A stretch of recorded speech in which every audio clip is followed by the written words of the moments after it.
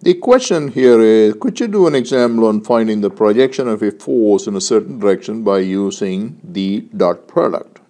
We did one example before and we'll do another one here. This is the problem that I have selected here. We have a force F acting at point A. The component form of vector F is given. In addition, these dimensions are given. The question is to find the component of F along OA. This problem is fundamentally same as the uh, one we did in uh, the earlier video, that is example 1, but it differs in details. For example, the coordinates of point A are not given, but these dimensions are given. Also in the previous problem, we had a cable uh, along the direction of the force and the coordinates of two points on the cable were given, so we had to find a vector uh, between the two points. But here, uh, the force F is given in its component form. So these are some of the differences between the two problems. Let's call this vector, vector from O to A as little a. Let's extend this line and call this angle as theta. First we know that the component of f along OA is simply f cosine theta, right? You might ask, how come we are not using this angle?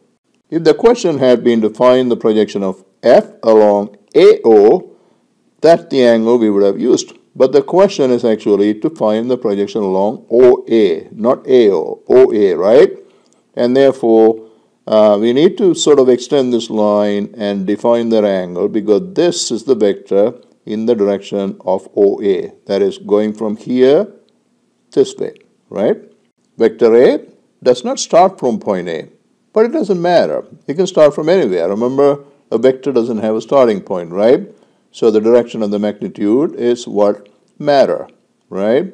And therefore, uh, the vector starting from here is identical to this vector right there. The second part of solving this problem is to find the angle theta. So there's a vector A here, vector F here. The angle between the two is given by this equation in accordance with the definition of the dot product. Doesn't matter whether you have a position vector like vector A or a force vector like vector F. A vector is a vector.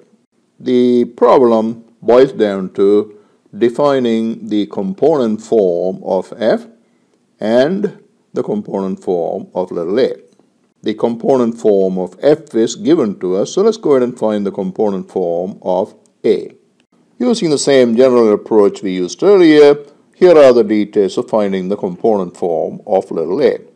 We'll list the coordinates of the starting point, which in this case is point O, and we know point O coincides with the origin of the coordinate system and therefore the coordinates are 0, 0, 0. From the picture you can see the coordinates of point A are 2, 5 and minus 3 meters. Then vector A works out to be this 2i plus 5j minus 3k.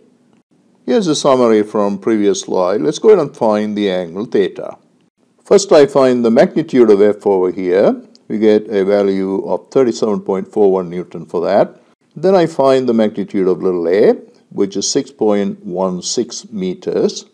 Then I go ahead and calculate the dot product between little a and f, which works out to be 210 Newton meter.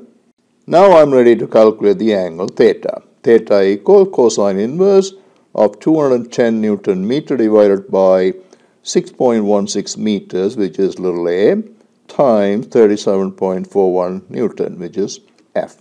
You can see the units cancel out the way uh, they are supposed to. We have Newton meter in the numerator and the Newton meter in the denominator. The angle is calculated to be 24.3 degrees.